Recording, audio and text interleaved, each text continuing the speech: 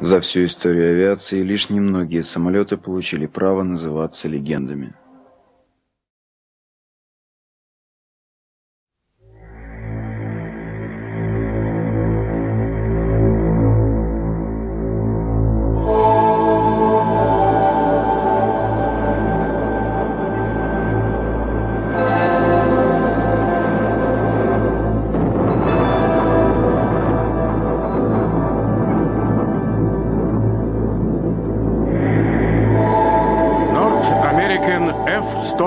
Супер Сейбр.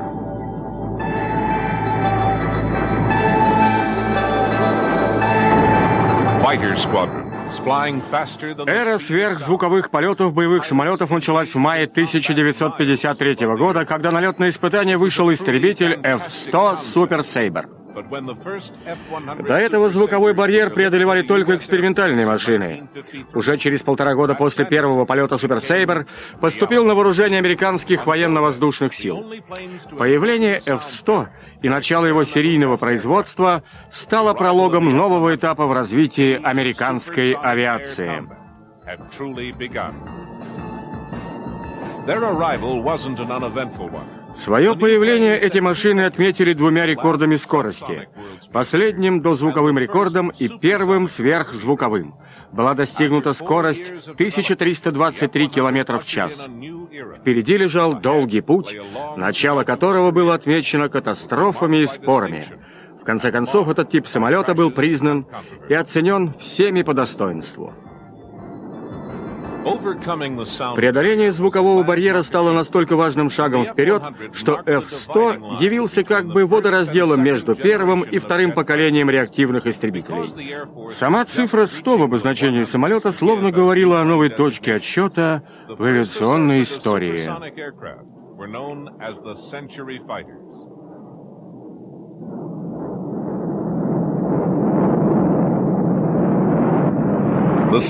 Так называемая сотая серия включает в себя несколько типов оригинальных сверхзвуковых истребителей.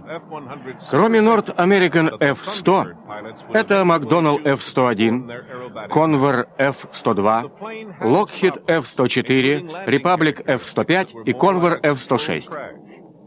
Однако не случайно, что среди всех этих превосходных машин для пилотажной группы Thunderbird любимым стал именно F-100. У самолета были свои проблемы, связанные в частности с приземлением. Однако в полете это была чуткая и надежная машина, что подчеркивает нежное отношение к ней пилотов Thunderbird. Супер Сейбр был детищем исключительно сильного конструкторского бюро. Фирма North American добивалась успеха с самого своего основания. Она не испытывала никаких серьезных неприятностей с 1935 года, и в такой стабильной атмосфере проектное бюро занималось несколькими инициативными проектами перспективных самолетов. Рождение Супер Сейбра относится к 49 году, когда проектное бюро North American сконцентрировалось на разработке качественно нового самолета, способного преодолеть звуковой барьер.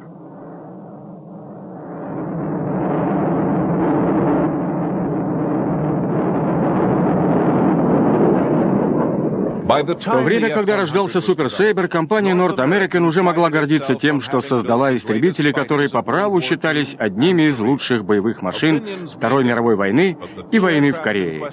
Такие утверждения, конечно, всегда вызывают споры, но два самолета фирмы «Мустанг» и «Сейбр» могут быть достойным предметом обсуждения в любом столкновении мнений. Новый истребитель из той же конюшни должен был поддержать высочайшую репутацию своих предшественников.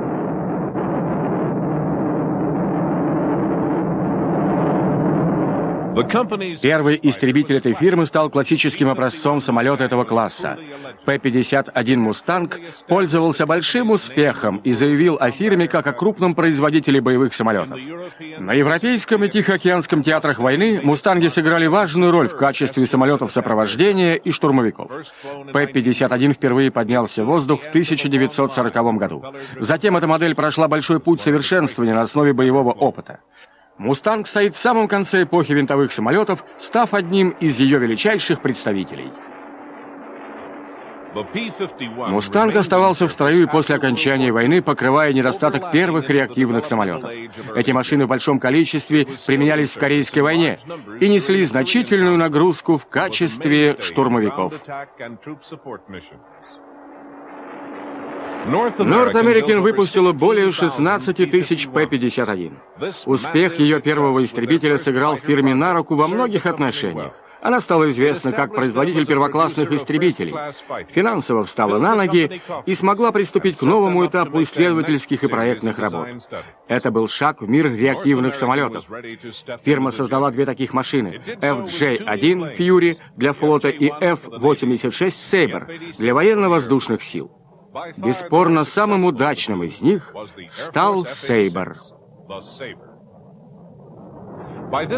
Словно в подтверждение уверенности фирмы в своих силах, выпуск F-86 был отложен на год против графика, что потребовалось для решения ряда проблем стреловидного крыла и оперения. Стабильность и финансовое процветание фирмы позволили пойти на такой риск. Итог многократно оправдал вложенные силы и деньги. Сейбр был запущен в массовое производство в 1949 году и как раз успел к началу Корейской войны, где и произошло его боевое крещение. F-86 поступил в Корею в декабре 1950 года. К этому моменту военно-воздушные силы имели проблемы с МиГ-15, которые явно превосходили американские реактивные машины. В многочисленных столкновениях с русскими самолетами Сейбры доказали свои высокие боевые качества. Успех приносили также отработанная тактика и прекрасная выучка пилотов.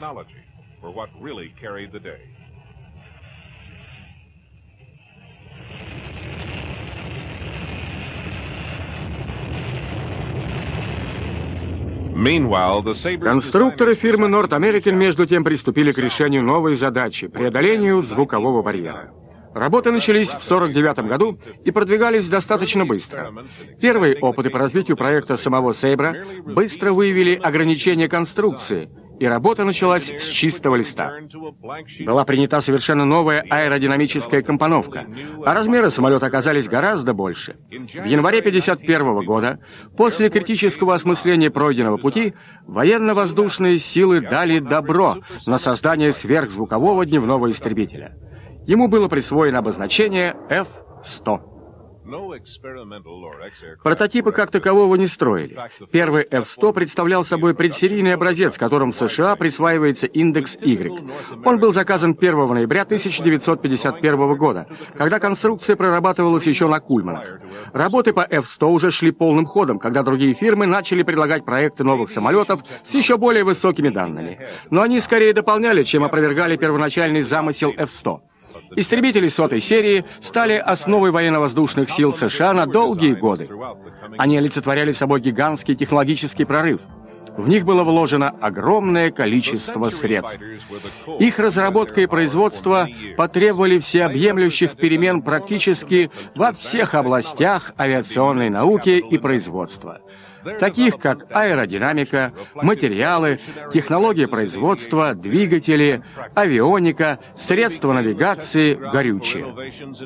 Этому сопутствовали новые взгляды на тактику применения таких самолетов, их вооружение и использование ядерного оружия. There was also a revolution in tactics and arms. Chief among these were developments in missiles and nuclear weapons.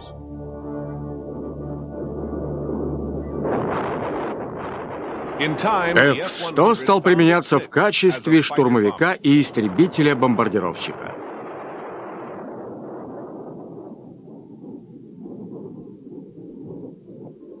Изначально F-100 проектировался как истребитель для завоевания превосходства в воздухе, но вскоре его стали рассматривать как многоцелевой. Крыло самолета было перепроектировано с тем, чтобы на шести пилонах можно было разместить 2700 килограммов боевой нагрузки. Это обеспечивало благоприятное распределение нагрузки по размаху крыла и делало самолет мощным ударным средством. Шок атака неразрешенного конфликта в Корее укрепил уверенность США в необходимости быть готовыми к новым конфликтам. Пересмотру подвергалась сама концепция подхода к вооружениям вообще. Пулеметы уступили место более мощному оружию, и на F-100 были установлены 4 20-миллиметровые пушки.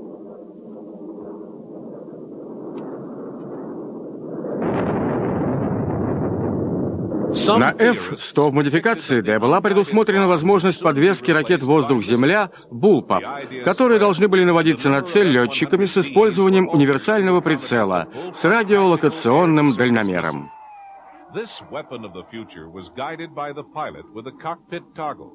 Like early versions of many things, it wasn't terribly effective. Опыт показал, что обычные авиабомбы значительно дешевле сложных ракет, и новое оружие вряд ли полностью вытеснит старое. Однако в целом ряде случаев точность ракет оказывалась решающим фактором.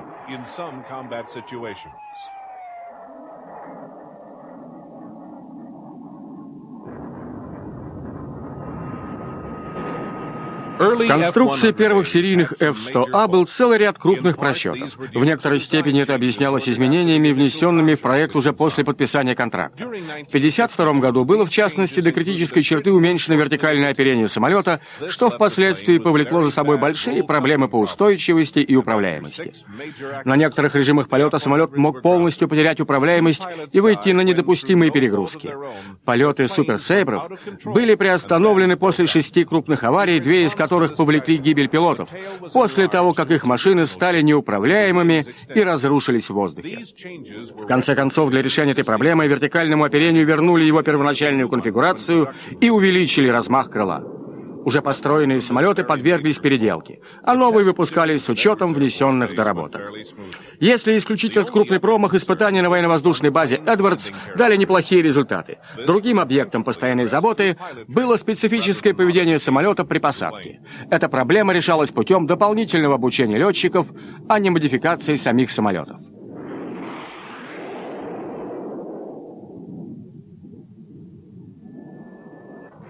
На базе «Эдвардс» проводились также опыты по старту самолета без разбега. F-100 имел сравнительно небольшую дальность, которая ограничивалась 960 километрами. Впоследствии эти самолеты были снабжены устройством дозаправки в воздухе, которое проводилось либо от специального самолета-заправщика, либо от однотипного самолета. В результате F-100 мог быть использован для нанесения ударов по достаточно удаленным целям. Всего было выпущено 203 F-100A, первые 70 из которых не имели конструктивных изменений, способных предохранить самолет от потери управляемости. Эта проблема стала причиной задержки воплощения в жизнь всей программы по F-100, и только весной 1955 года поставки самолетов были возобновлены. К тому времени уже прошел испытание улучшенный вариант — F-100C. Обозначение «Б» несколько раньше было присвоено новой машине, скорость которой должна была вдвое превосходить скорость звука. Недостатки конструкции самолета не исчерпывались возникавшим на больших скоростях неблагоприятным сочетанием движений рыскания и крена, способным за секунды разрушить машину. F-100 отличался плохой управляемостью на малых скоростях, что могло привести к катастрофе, если отсутствовал достаточный запас высоты. Сейчас вы видите, как пилот понял, что слишком рано начал приземление и пытается снова набрать высоту. Он слишком резко дал газ, из-за чего компрессор двигателя попал в срывной режим работы. Тяга упала. Летчик пытается снова и снова исправить ошибку, но только усугубляет положение. Скорость самолета снизилась ниже предела управляемости, и трагедии избежать не удалось. Этот случай не был единственным в своем роде, и выражение «танец саблями» получило новое звучание.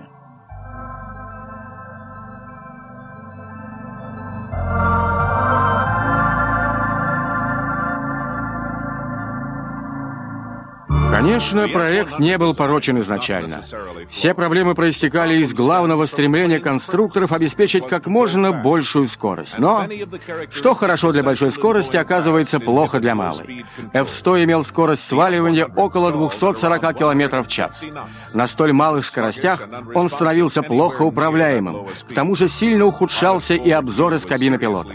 Кроме всего этого, двигатель, теряющего скорость самолета, был слишком чувствительным к малейшему изменению режима, и поэтому посадка всегда превращалась в проблему. F-100 сохранил способность к исполнению танца саблями. Пилотам оставалось только смириться с этим. Однако обучение, опыт и инстинкт самосохранения помогали летчикам быть начеку. Было гораздо безопаснее повредить шасси, совершая посадку на большой скорости, чем пытаться справиться с F-100 на малой высоте. than to meddle with the F-100 at slow speeds.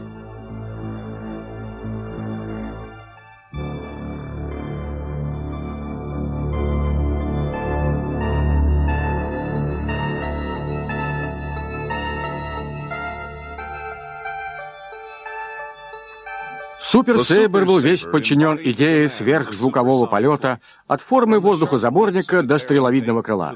Даже замерзший на стоянке F-100 наводит на мысли о скорости. В этих самолетах воплотились множество новых идей. Цельноповоротный стабилизатор расположен в самом низу хвостовой части фюзеляжа. Поскольку места для закрылков на задней кромке крыла не осталось, вдоль всей его передней кромки были размещены щелевые предкрылки.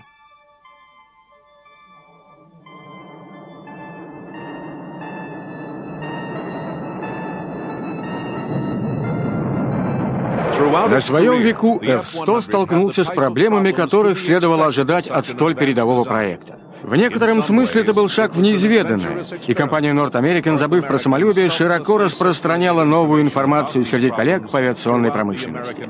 Подобные материалы были получены в результате долгих и дорогостоящих опытов и анализа. Однако фирма не засекречивала их, помогая двигаться вперед всей отрасли, чтобы избежать ошибок. Американские летчики и большинство пилотов других стран, летавших на Супер Сейбре, были весьма довольны самолетом. Среди них были участники знаменитой пилотажной группы Thunderbird. Они использовали эти машины дольше, чем любые другие типы самолетов. Когда в их распоряжении были предоставлены новые F-105, они предпочли им свои испытанные суперсейбры.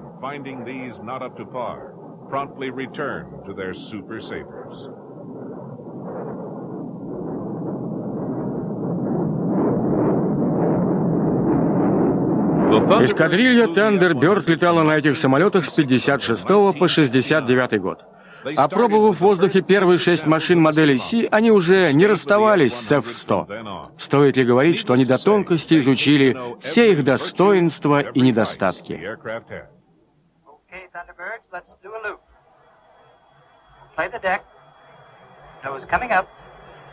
Okay, and with the pull.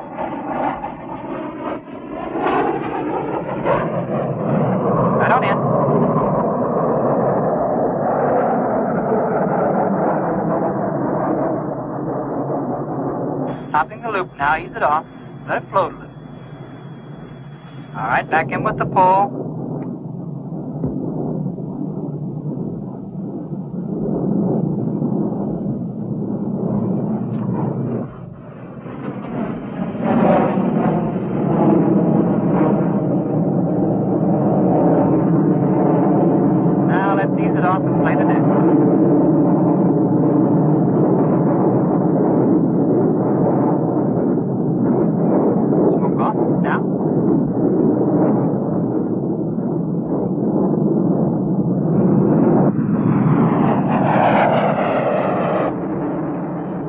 Еще одна страница истории F-100 написана группой Thunderbird. Она связана с анализом аварии во время одного из их показательных выступлений, вызванной усталостью конструкции крыла.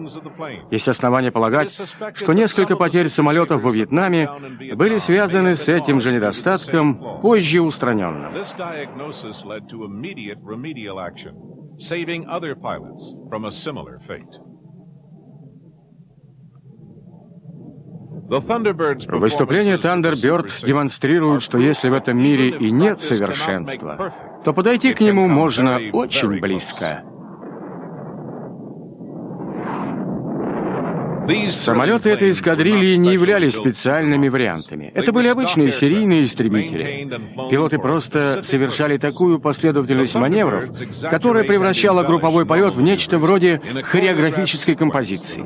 Именно это создавало впечатление, что машины поставлены в экстремальные условия.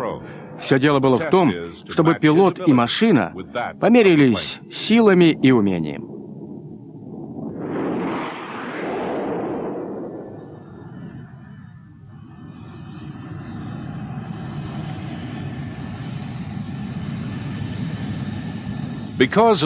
Ввиду относительно высокой аварийности суперсейбров была разработана спарка F-100F, предназначенная для тренировок летчиков. Почти четверть парка этих машин была потеряна при различных катастрофах. Каждый самолет предъявляет к летчику свои специфические требования. F-100 был первой машиной нового поколения, и все летавшие на нем проходили очень интенсивную подготовку. В эпоху революционного рывка за звуковой барьер подготовку летного состава надо было вести исключительно тщательно и заново разрабатывать все ее этапы. because jets not only greatly increased speeds, but they drastically reduced the pilot's room for error. В боевых столкновениях с японскими ЗЕР, а также корейскими МиГами, американские военные убедились, что преимущества в подготовке летчиков могут компенсировать некоторое техническое отставание машины. ЗЕРа и МиГи превосходили многие самолеты противника, но терпели поражение из-за худшей тактической подготовки пилотов. Вообще-то идеал — это иметь лучшего летчика на лучшем самолете, будучи твердо уверенным, что он воюет на вашей стороне. Это как раз то, чего США стремились добиться от истребителей сотой серии и их пилотов.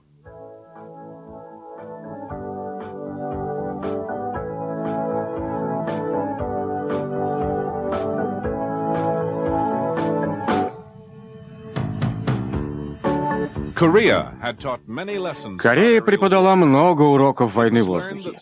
Стратегическая линия на разрушение экономического потенциала противника оказалась не столь уж неоспоримой, если этот противник не имел собственного производства, а полагался на иностранные поставки. Возникла дилемма между мировой и локальной войной.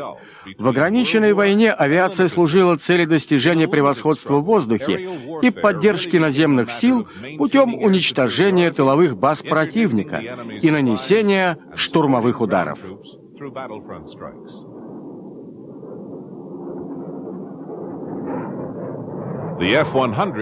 Супер Сейбр все больше и больше превращался в тактический истребитель-бомбардировщик. На свет появлялись более скоростные перехватчики и дальние бомбардировщики. Однако за F-100 осталась функция тактической поддержки.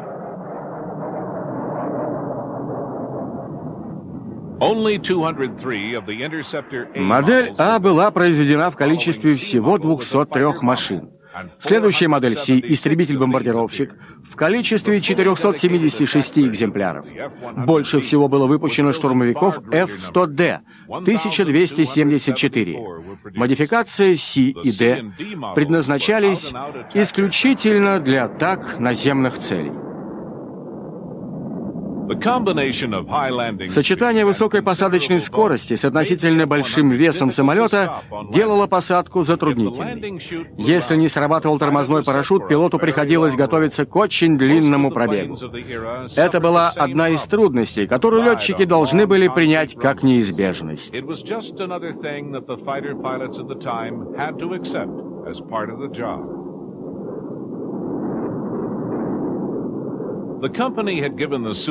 Фирма дала своему самолету имя Супер Сейбр, но оно оказалось слишком длинным, и машина среди летчиков стали называться просто Хан, сокращение от английского слова «сто». Всего их было произведено 2294 экземпляра, если считать прототипы и двухместные модификации.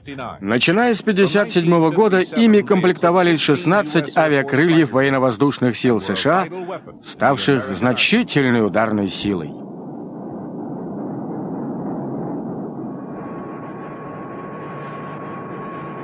Проект истребителя F-100B разрабатывался в то время, когда шли работы по превращению сотки в тактический ударный самолет. Скорость, заложенная в проект F-100, составляла примерно 1,25 м, что для нового самолета считалось недостаточным. В варианте перехватчика максимальная скорость самолета должна была соответствовать двум махам. Второе назначение самолета, тактический истребитель-бомбардировщик, обусловило номенклатуру дополнительного оборудования и ряд компоновочных решений. Двойное назначение определило облик машины. Для обеспечения равномерного обтекания нижней части фюзеляжа воздухозаборник двигателя был размещен над фюзеляжем. Тактические характеристики полностью подчинили себе проект F-100B.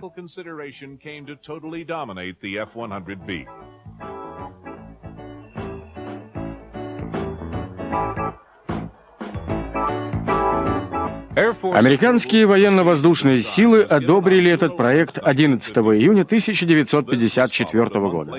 Через месяц появилось на свет и новое обозначение самолета. F-100B превратился в F-107A. К тому времени перемены в конструкции стали столь очевидны, что у новой машины осталось мало общего с соткой. Фюзеляж с верхне расположенным воздухозаборником был на 50% длинней, чем у сотки. Подобно Супер Сейбру, конструкция F-107 содержала много новшеств, включая цельно-поворотное вертикальное оперение и регулируемый воздухозаборник. Самолет был оснащен совершенным бортовым оборудованием, радиолокационным ответчиком, программируемым автопилотом и автоматическими средствами улучшения устойчивости. Это был прообраз авионики сегодняшнего дня.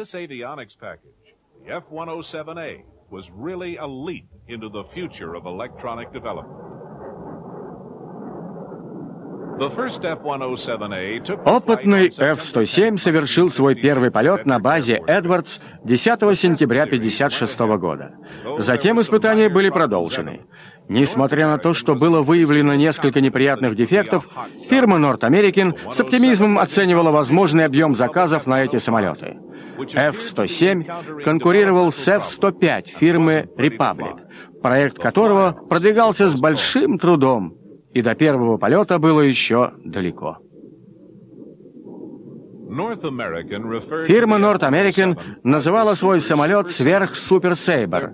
Если бы F-107 выиграл конкурс, то его сборка была бы поручена фирме Republic, чтобы загрузить ее заводы.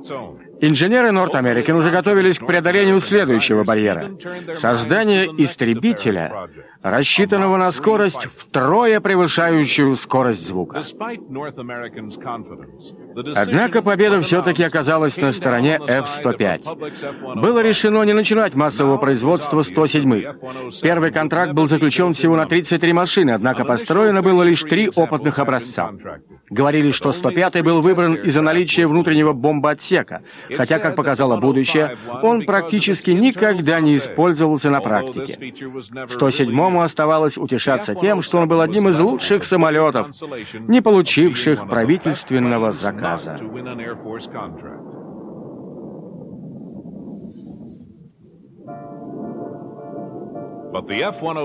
Неудача с F-107 не повлияла на заказы суперсейбров, которые по-прежнему оставались на вооружении военно-воздушных сил США. В мирные годы конца 50-х и начала 60-х они были значительно усовершенствованы. Модель F-100D, имевшая оборудование для дозаправки в воздухе, обладала расширенными возможностями для подвески оружия. Около 75 видов вооружения, бомбовые кассеты, блоки неуправляемых ракет, мины и осветительные бомбы – все было совместимо с конструкцией самолета. Вариант «Д» имел немало существенных усовершенствований, включавших новые посадочные щитки, большую площадь крыла, увеличенный киль. В процессе серийного производства моделей C и D в их конструкцию и оборудование вносились различные усовершенствования и изменения. Например, 148 самолетов модификации D имели узлы установки стартовых ускорителей для безаэродромного старта. В 1962 году была развернута обширная программа модернизации соток. Программа выполнялась до 1965 года с темпом один самолет в два месяца. В итоге тактическая авиационная команда командование получило желаемый результат. Парк обновленных и боеготовых F-100.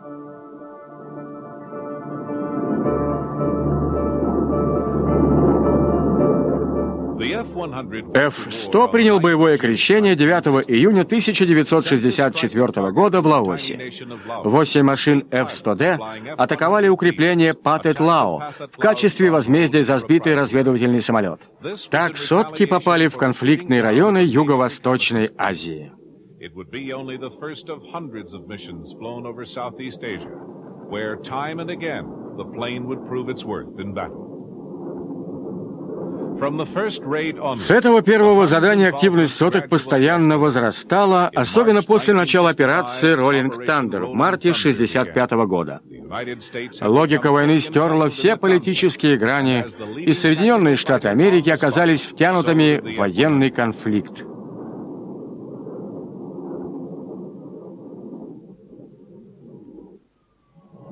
Во Вьетнаме ощущался недостаток оборудованных аэродромов для реактивных самолетов, и Соединенные Штаты приступили к их ускоренному строительству. Новые базы появились в Бьенхуа, Пханранг, Пхукет, Туихуа, и им предстояло стать свидетелями долгой боевой работы F-100. Здесь были построены трехкилометровые полосы, помещения для летного и технического состава и ремонтная база. Теперь, с точки зрения наличия современных аэродромов, Южный Вьетнам стал одной из богатейших стран мира.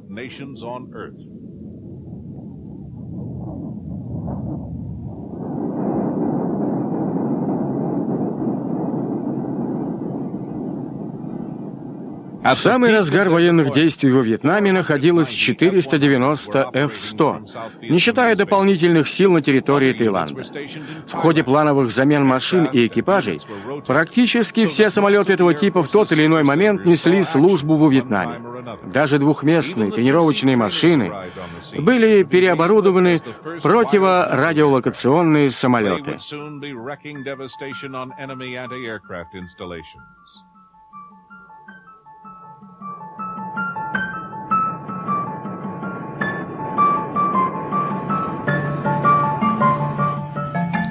База в Ханранг первая приняла полностью оснащенные сотками авиакрылов в 1966 году. Она и далее оставалась главной их базой, где постоянно размещалось 140 самолетов этого типа.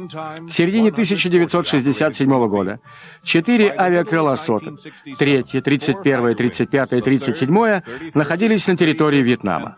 Хотя история вьетнамской войны лишь мимоходом упоминает действия F-100, это не означает, что их там было немного. Эти истребители внесли весьма значительный вклад в военные усилия США. Возможно, что при уменьшении роли F-100 объяснялось отсутствием в их работе некоего романтического блеска. Налеты на цели в Северном Вьетнаме ярче высветили уже известные недостатки F-100 в сравнении с разработанными позже F-105 и F-4.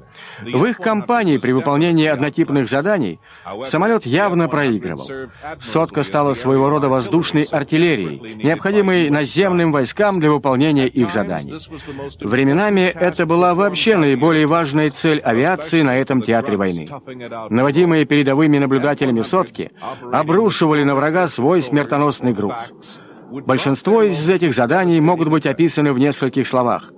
Инструктаж, взлет, дозаправка, полет в заданный район, встреча с передовыми наблюдателями, обнаружение цели и ее атака, полет обратно на базу.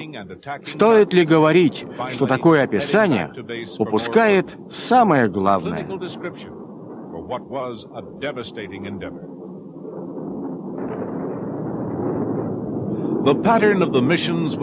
Боевых вылетов было огромное количество, и каждый из них был для летчика неповторимым. The four wings stationed in South Vietnam had flown more combat missions than the combined total of all the thousands of P-51 Mustangs engaged in World War II.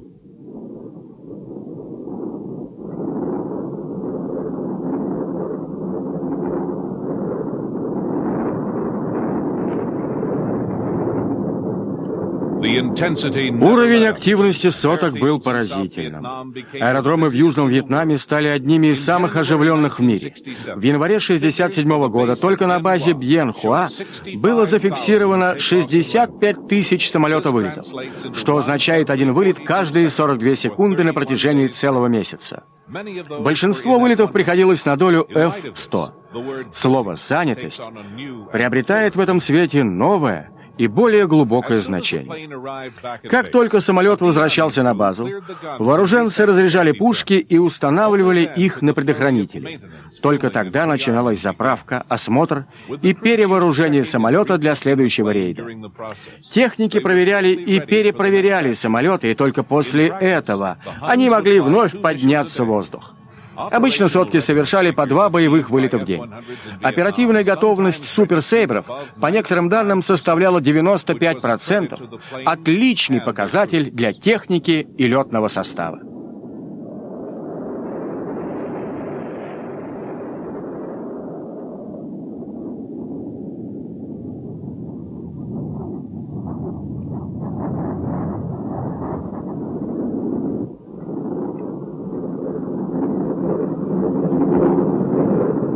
31-е истребительное авиакрыло имело 5 эскадрилей F-100. Его база в Туихуа насчитывала наибольшее количество этих самолетов во Вьетнаме.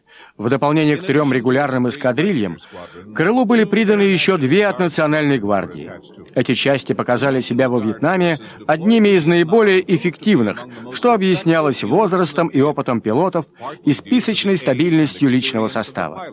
Действия гвардии разрушили бытовавшие представления о ней как об аэроклубе и заставили смотреть на эти части как на сильный и надежный резерв. Генерал Джордж Браун считал, что пять эскадрилей F-100 Национальной гвардии были лучшими из всех.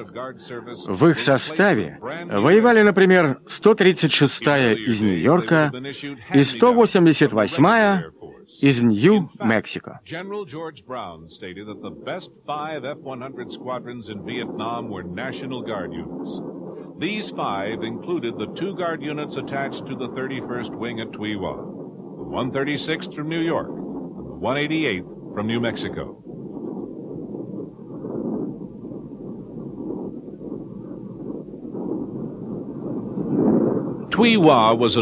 Туихуа стала новой базой, построенной американцами. Работы здесь начались в мае 1966 года, а в ноябре сюда уже прибыли первые самолеты. Временная полоса с металлическим щитовым покрытием продолжала функционировать и после постройки бетонной полосы в 1967 году. Аэродром был покинут в середине 70-х годов.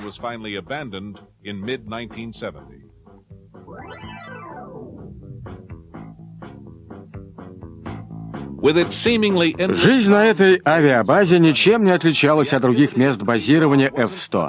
Бесконечная карусель полетов и заправок. В 31-е крыло входило около 110 самолетов, которым добавились еще 44 машины Национальной гвардии. День и ночь на базе не замирала жизнь. И люди работали без выходных, чтобы обеспечить высокую интенсивность боевых вылетов.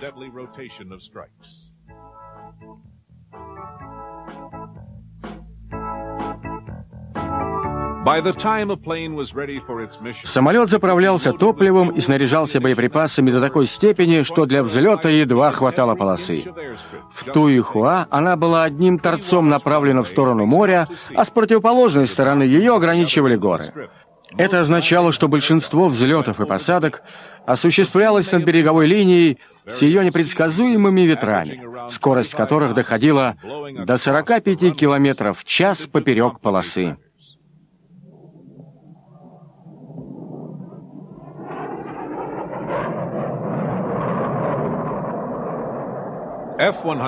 Полеты, в принципе, делились на два типа. Запланированные удары, сопровождавшиеся подробным инструктажем и точными указаниями, и срочные задания в ответ на просьбы о помощи со стороны армейских соединений.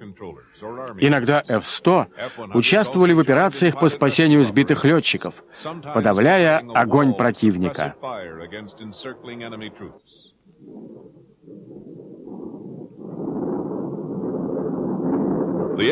Учитывая количество баз и самолетов во Вьетнаме, машины могли оказываться в нужном районе в считанные минуты. Иногда солдаты просили нанести удар по цели, располагавшейся в каких-то полусотни метров от их собственных позиций. Выполнение таких заданий делает честь самолетам и их экипажам. Войска, наверное, дважды подумали бы, прежде чем вызвать поддержку, если бы не были уверены в четкости и точности работы F-100. Необходимость нанесения хирургически точных ударов ложилась тяжелой ответственностью на измотанных пилотов.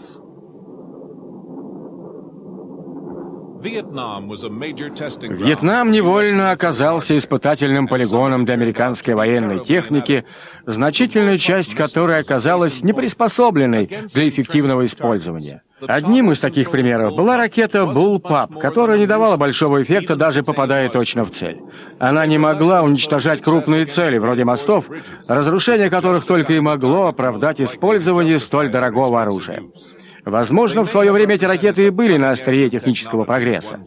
Некоторые из более поздних видов вооружений оказались гораздо более эффективными, однако и они доказали, что испытания, на основании которых их приняли в производство, не всегда гарантировали от неудач в боевой обстановке.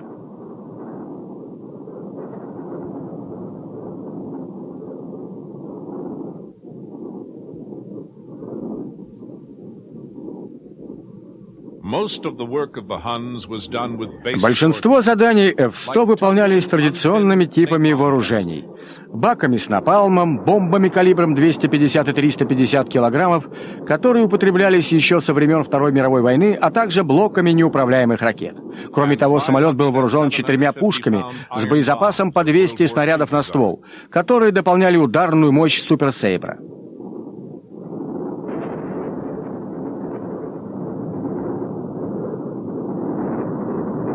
In addition, there were the four cannon, each with 200 rounds, which gave the Super Sabre its lethal strafing power.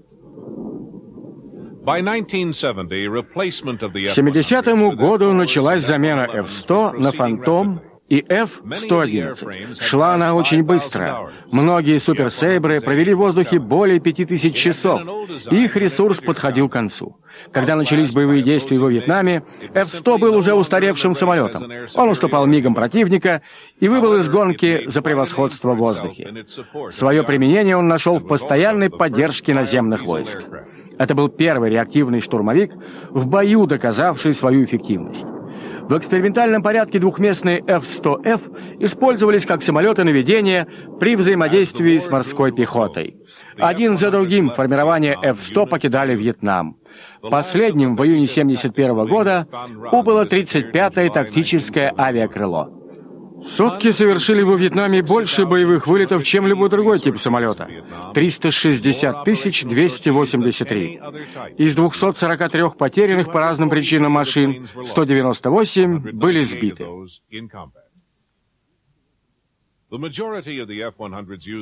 Большинство соток в армиях других стран было далеко не новыми. Французы первыми получили суперсейбры в 1958 году.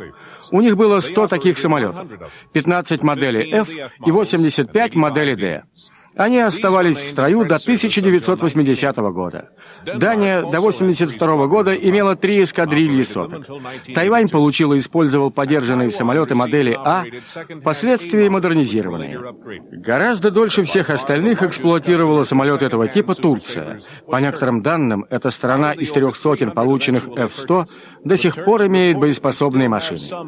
С точки зрения оружейного бизнеса, поставки F-100 не стали чем-то из ряда вон выходящим для фирмы North American, а отказ от F-107 оставил эту фирму вообще без заказов на производство истребителей.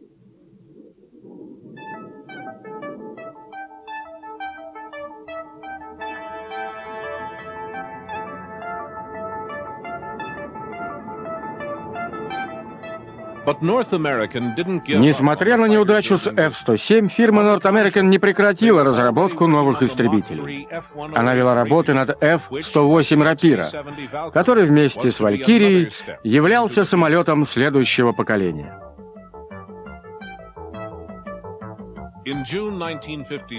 Фирма получила контракт на разработку в июне 1957 года. Он базировался на исследованиях, начатых в 1955 году. Скорость проектируемого истребителя должна была составлять 3200 км в час, потолок до 21 км, радиус действия 1600 км. После ракетной атаки цели самолет должен был совершить посадку на базе через 30 минут после взлета. Главная задача уничтожение бомбардировщиков на дальних рубежах. К сожалению, подобный самолет оказался бы невероятно дорог, и на этапе предварительного проектирования в январе 1959 года представители военно-воздушных сил углубились в изучение бюджетных вопросов, определявших саму возможность реализации проекта. 23 сентября 1959 года фирме North American было дано указание отложить разработку. Создав три поколения самолетов, все из которых были успешными, Фирма полностью прекратила разработку истребителей. После Вьетнама F-100 оставались в строю только в частях Национальной гвардии США. К 1972 году ВВС полностью отказались от их использования. Некоторое время они еще оставались на вооружении Национальной гвардии, но ресурс этих самолетов был практически исчерпан, и их списали. Национальная гвардия эксплуатировала их более 20 лет. Были пилоты, налетавшие 5000 часов на этом типе самолета. Самый большой налет часов составлял 5600. Последний рабочий вылет F-100 состоялся 10 ноября 1979 года. Все последующие полеты проводились исключительно в развлекательных целях.